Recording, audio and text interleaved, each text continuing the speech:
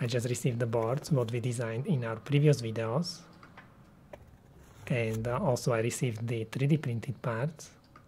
This is standard black 3D printing but this is multicolor 3D printing and this is different variant of the same case. And we also need this CNC metal plate. Always when you receive boards double check the quality. Everything seems to be okay so we can solder the missing components, first the crystal. I put some solder on the pads.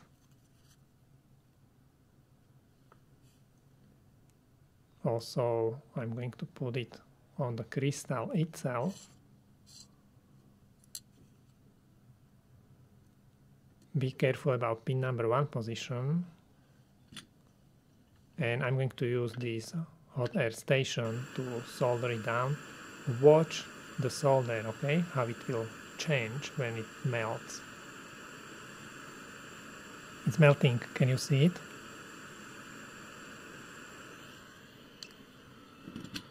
Okay.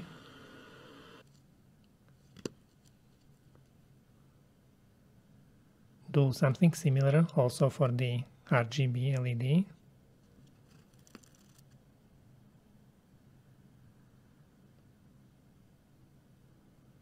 very often when I solder I use flux so this is flux it helps with soldering.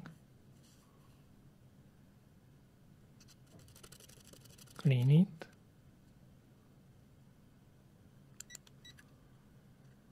Use diode mode.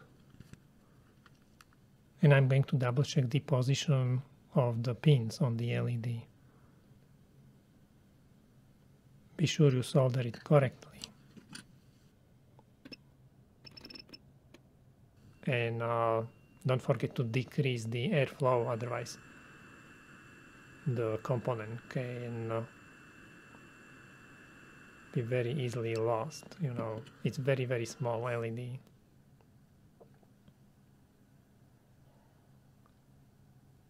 It looks okay. Now we need to also solder down this. Again, I, I'm putting a little bit of solder on the pads. And on one of the pads, I put, I, uh, I put a little bit more because I use it to hold the component down like this. And then I will solder the second pad. I'm going to make it a little bit nicer.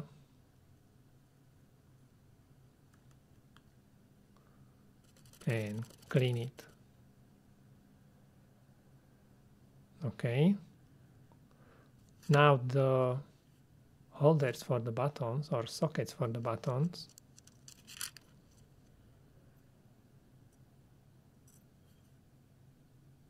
they are all done now the standoff for the metal plate.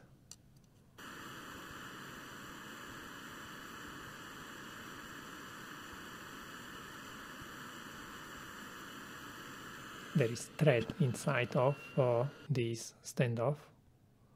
So we can screw down the metal plate. Looks good. Encoders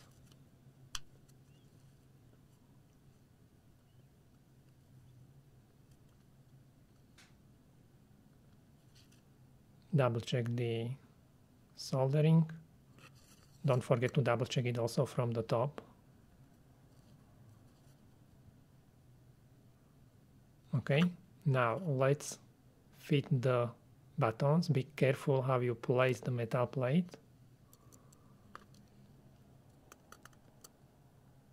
And right now don't tie it to don't tie it up too much the plate you need to have it a little bit wobbling. Once all the buttons are fitted, double check if you can see the pins from the other side and now we can screw everything down. I'm going to measure if there is no direct short circuit on the powers So I'm checking the power on 5 volts and 3.3 volts, both directions. That's why I'm swapping the probes. Now I'm going to connect the keyboard, watch the current which is going to flow. Okay, this is fine. LEDs are on and I'm going to measure the voltages 5 volts and 3.3 perfect now search for Fedevel keyboard github and here is the software custom keyboard we need to download this file and also I'm going to download the second one here they are. Now, what was going to happen in this device manager disk drives? I'm going to connect the board. And there is this uh, Raspberry Pi USB device. We can see it listed also here. And we simply just drag and drop this UF2 file to the Raspberry Pi drive. And this is how we flash the firmware see all the buttons, all the, all the LEDs are red, so it means something happened. Uh, in case you cannot see the uh, Raspberry Pi drive here or here, then what you need to do, use the reset button and press twice, very quickly press twice on the reset button and then you will see the Raspberry Pi drive and you can update the firmware. Okay don't forget very important. Now I'm going to search for via keyboard uh, go on this website. Try now. Here are three icons but in settings we are going to enable fourth one. This is important one. Click there confirm. And we are going to load the layout of our keyboard, you know, the nine keys and three encoders. So I'm going to copy the path where the files are located, the files which we downloaded from GitHub. And here it is. Okay, so this is our keyboard. Now go to configure, authorize. I'm going to connect our keyboard. This is the default layout. I would like to change it. So I go to this save load the layout or the shortcut assignment and uh, I uploaded a new file this one. So I'm going to download it from the github. Here it is. And I'm going to load it. Watch what's going to happen with the assignments with the shortcuts. So this is the default layout what we have now. A, B, C, D, E, F, G, H, I, L, K. And this is a special one. It's uh, switching between layers. So if I go on the second encoder, you can see there is uh, zero. But if I go on layer one, the second encoders, it will write number one, then number two, and number three on layer three. So it's special and on the third encoder there are like P, O, J. We are going to try it. So A, B, C, D, E, F. All the keys are working. This is the encoder. One direction, second direction. Watch what's going to happen when I press it. I'm going to change the layer. So this is layer one, that's the red. Layer two, that's the green and layer 3 is the blue one and uh, double check also the second encoder and the last one oh, it looks like everything is working so this is really cool. I'm going to remove this this panel. They need this when they and they are assembling the boards. And this is the PCB now we need to prepare uh, the enclosure. So I'm going to use the Gorilla Glue and be sure you put everything the right way. I'm going to glue it.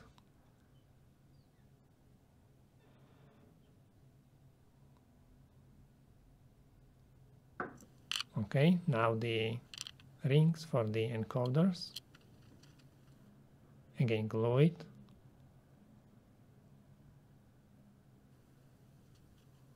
Looks good. Use this clear filament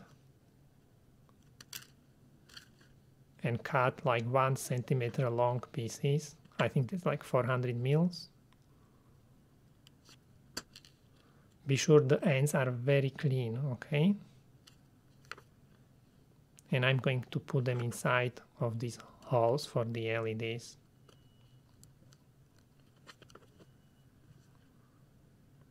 Make it nicer.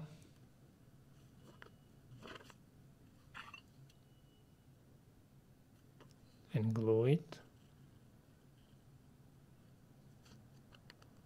I'm going to use uh, two kinds of screws, a little bit longer one and a little bit shorter one. Be careful how you put the PCB inside and let's put it together.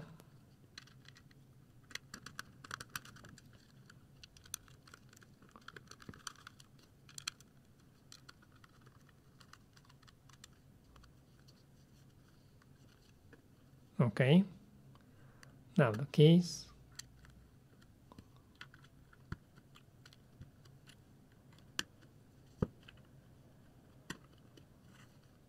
And encoders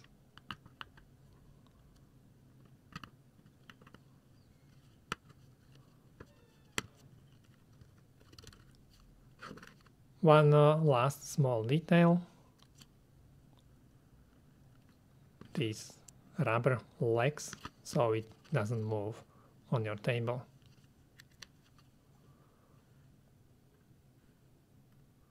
To change the color pattern, you can go here and uh, let's use different effect. For example, this one, or we can use like this one. Okay. Check if everything is still working.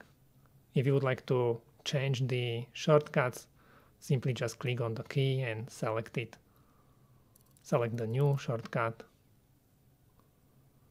And I'm going to double check the layers. So when we change the layer to layer 1, then uh, we should see L and C, okay?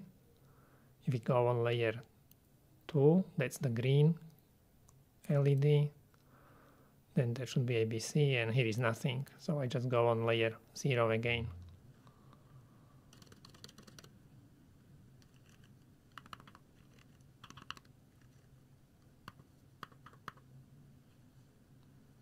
perfect.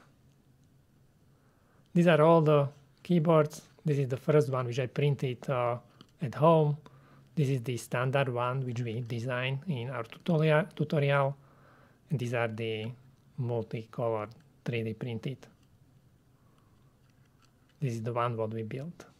Now, and this is special one, the secret keyboard. I'm going to send it to someone. and here is the final result.